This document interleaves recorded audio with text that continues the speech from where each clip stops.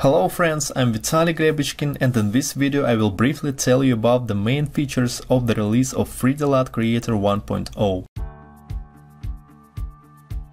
First of all, I want to thank all the people who supported us and helped develop the program and believed in us from the beginning. Therefore, for all who have purchased the program, the update to version 1.0 will be free. For everyone else, I would like to inform you that from the beginning of June, customers will not be able to purchase Pro version of 3D LUT Creator by the price of the standard version. So if anyone still has doubts about buying the program, you only have one month left to purchase the Pro version at 30% discount discount. So what's new in version 1.0? The first thing that catches your eye is that the tools switches are now located right on the tabs. Now in order to enable or disable the tool, it's not necessary to open its tab.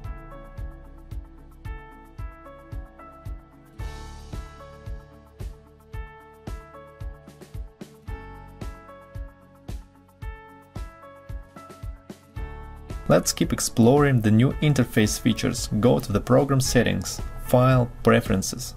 Starting with the version 1.0, it's possible to change the background color in the image window. This is useful if your image has a black background, as mine does here, and you want to see where it ends. Also, on a black background colors seem brighter, so it's sometimes useful to view the picture on a light background to check the overall brightness. Open the settings again. This can be done by pressing Ctrl T. Checkbox border color planes responsible for showing the color on the edges of the color plane in A, B and CL grids. If the color plane distracts you, but you don't want to disable it completely, you can use this feature. Let's return to the settings once again. It is possible to maintain the proportions of the AB grid as square, in my opinion, this is a very useful feature because the projection of the color models on the AB grid is a circle. Therefore, it would be logical to see the color plane as a square rather than rectangular. So we always have the correct proportions displayed and the colors on the grid are never distorted. Also, there are many round shaped analysis tools for example Vectorscope. By the way, now it has the letters of the primary colors. The square grid perfectly combines with the other major interface feature of the AB grid, which I would call the web. To enable this, you need to go to the grid size drop-down list and select any grid dimension with the C letter at the end. C comes from the word circle. With this interface, it's much easier to move individual color sectors. I'll remove all shades of purple and teal from this image. Before, after. And if you choose a new color model HSP Itten, where color distribution on the grid equals to the Itten color wheel, you can easily make a certain color harmony in the image. Let me show you how it works with this image here. I'll reduce all colors to blue and orange colors.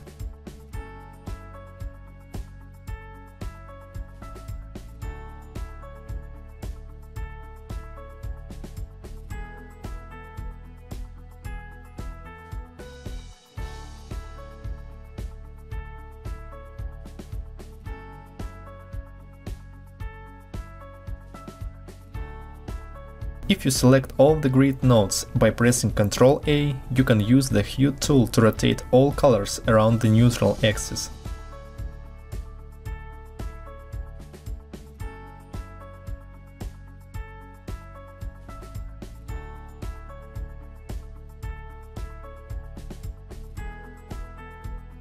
You can also select only one color and only rotate it.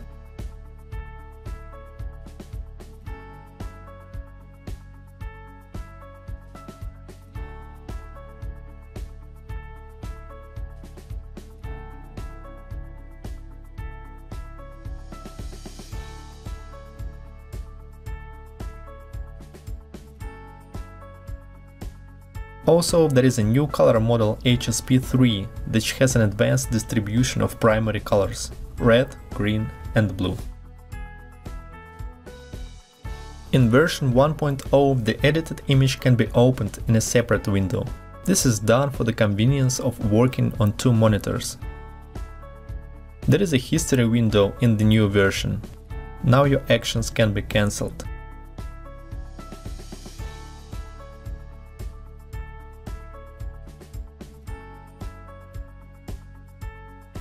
The biggest changes were made with the Curves tab.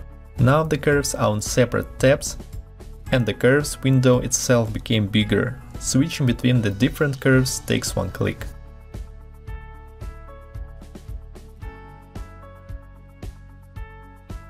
With regard to the curves functional, the new version has a new Sat Sat curve. It allows you to control the output saturation of the image depending on the initial saturation. On the curves histogram the x-axis is the initial saturation, y equals the number of pixels with a given saturation. Using these curves you can, for example, reduce saturation in oversaturated areas only. In this photo I'll reduce the color saturation on the girl's cheek and raise the medium saturated colors.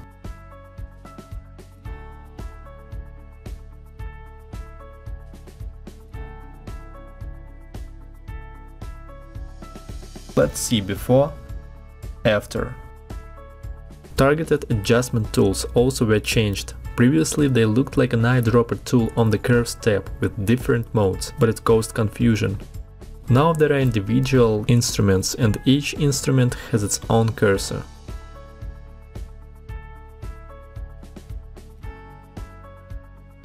In version 1.0 there is an opportunity to create an alpha channel directly in 3D Creator. Alpha channel is an additional channel of the image which stores a mask or a selection.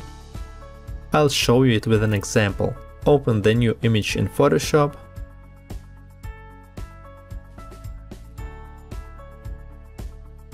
I will select the girl's eye.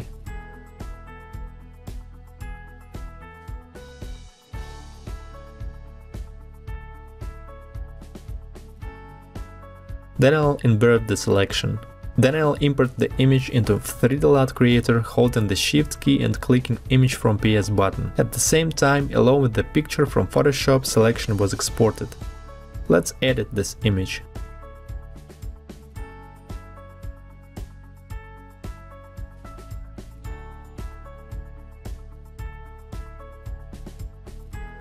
As you can see, the eye didn't get corrected. Now with the Alpha Channel tool you can select individual areas of the image and watch how the LUT works with them. Important to know that only the selected area gets in the analyzers. This is very handy when you need to analyze only a specific area of the image, for example, to see if the skin tone color equals the reference value in the vector scope or not. Let's see it in this photo.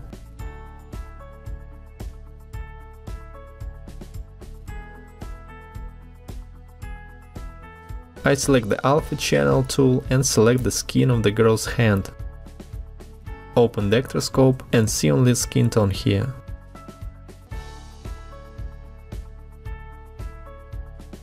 This is how the image looks like in Vectorscope with the disabled alpha channel. Let's turn it on again. If you apply any correction to the image, you can see how the skin color will change on the Vectorscope. Now this new feature will make photographers quite happy. In version 1.0 there is batch processing of the photos. The batch dialog window is turned on from the menu file batch processing. You can learn more about batch processing in the manual. Also there is a possibility to save 3D LUTs for the Unity 3D game engine and its Amplify color component. A lesson about the use of 3D LUTs in video games is coming soon. This is all for now, download the updated version in your personal account, stay tuned. I'm Vitaly Glebochkin, goodbye.